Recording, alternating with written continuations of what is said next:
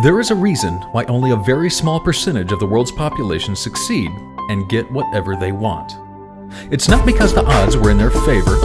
It's not because they were rich. It's not because they had the right contacts at the right places. It wasn't luck either that helped them. It's not because they had more than 24 hours in a day, and it's not because of an expensive education. They too were knocked down just like you, and that's more than just once. They lost many more times than they won.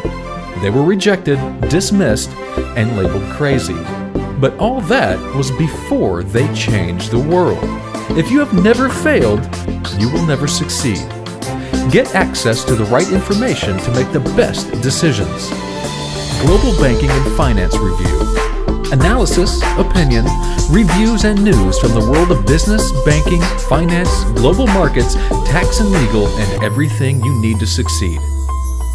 GlobalBankingandFinance.com.